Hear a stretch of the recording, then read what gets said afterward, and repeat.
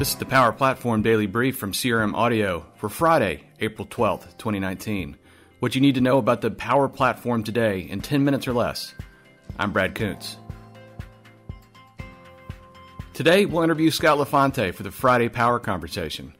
We'll talk about word spaghetti, thoughts on augmented reality, and learn how he really feels about the Red Sox. But first, a few announcements. Today is the final day that UG Summit will be accepting session proposals. So if you have not already and you're planning on it, that's what you need to do today. There's a link in the show notes that we'll provide. Uh, it's na.usergroupsummit.com. And this, of course, is for the uh, Orlando event that is in October. So always look forward to this event. It's a great event to talk to customers and real users of the, the product that we spend so much time with on a day to day basis, and it's uh, fantastic to uh, to see all those folks. So.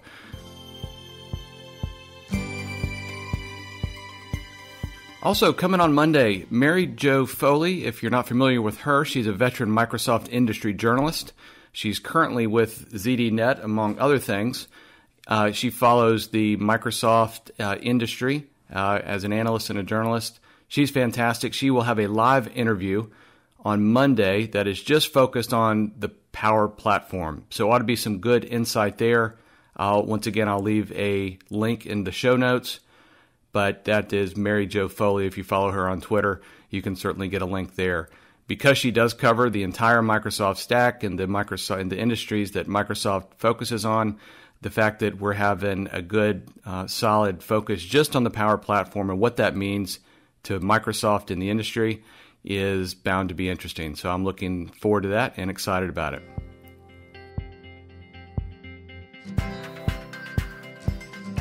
So for today's Friday Power Conversation, we've got Scott LeFante. Thanks for joining us today, Scott. Oh, my pleasure. So tell us a little bit about your podcast. I know that you have a podcast on the CRM Audio Network. So can you let our you, our listeners know about uh, about your podcast? Sure. So uh, our podcast or my podcast is uh, the At Your At Your Service podcast on the uh, same lovely CRM audio network, and it's uh, with myself, uh, Sean Tabor, uh, Sarah Jelinek, and what we typically talk about on a regular basis is is everything service. So customer service, field service, and occasionally um, project service. so you know we've uh, had some some really good topics, of course, because there's our the platform keeps evolving. So we're uh, it's it's a lot of fun. It's exciting, and we actually have another, I think, recording coming up uh, this coming week.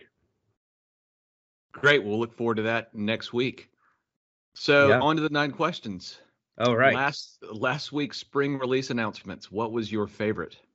Oh man, there's there were some really good ones. I was on that call. I think my my favorite one, um, be honest with you, is is really just the all the um, the insights. So now we have you know uh, sales insights and sales AI. We have uh, marketing insights AI, customer service. Uh, you know all of that artificial intelligence that's now coming in and what they're calling that that power of of three you know, updating that power platform is just it's huge. Um, it was really hard because I'm going to throw in a, uh, another one, which which was the entire the mixed reality that is now coming out and is available, especially on the on the on the mobile side. If you're an Android user, I think that's that's really awesome, uh, and is really just going to open up things, especially to those that you know don't have a Hololens uh, readily available or a couple thousand dollars sitting in their in their bank account to go uh, purchase one of these. Yeah, it really does kind of democratize the uh, the experience of of remote assist and the possibilities there. Absolutely. Next question: What's your favorite XRM toolbox tool? Oh, I think my my favorite is is really become the um, I, I really like the uh, the ERD creator.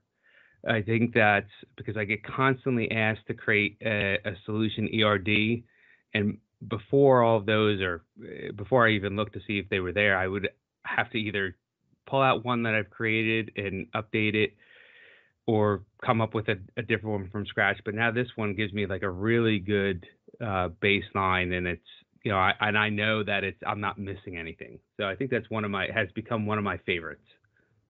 Yeah, that's that's absolutely one of my favorites as well.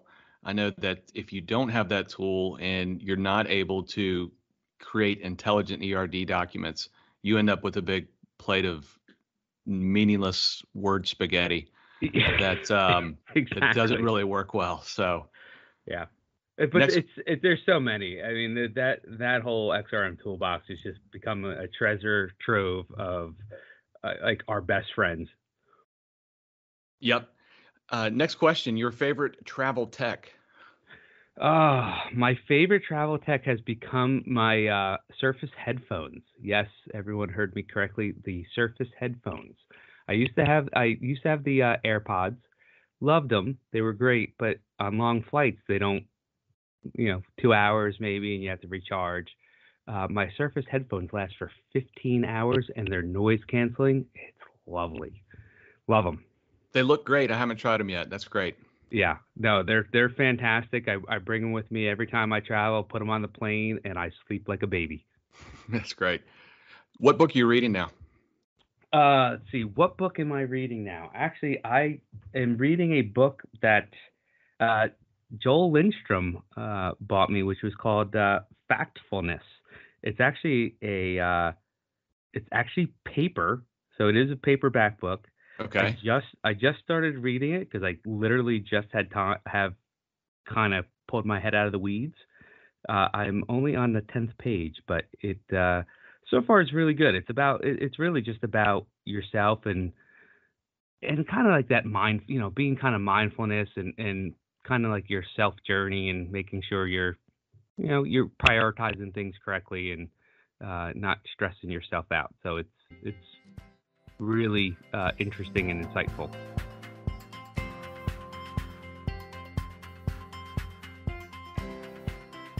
Are you ready for a little buy and sell? I am ready for buy and sell. All right, buy and sell. First question thumb drives. Sell.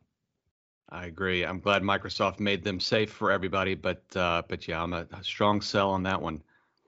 Yeah, I, I don't even I don't even typically use them. I put everything in the cloud. Eh, it's just for me, it's just easier. than this way, I don't have to worry about losing anything. I don't have to worry about anything being, you know, someone taking it and putting some some malware on it. I'm I'm good. Right. Buy or sell Yankees in the World Series in 2019. Oh God. Yeah. Well, they're off to a rough start this year. I, I'm going to say, you know, buy I, and and that's being a, a Yankees fan. You know, you have to be optimistic, and they have a lot of guys that are hurt right now, so they're they're kind of struggling. But if they can get healthy fast, uh, they're going to definitely be a, a team to beat. So I'm going to say buy. Okay. Buy or sell Hololens two.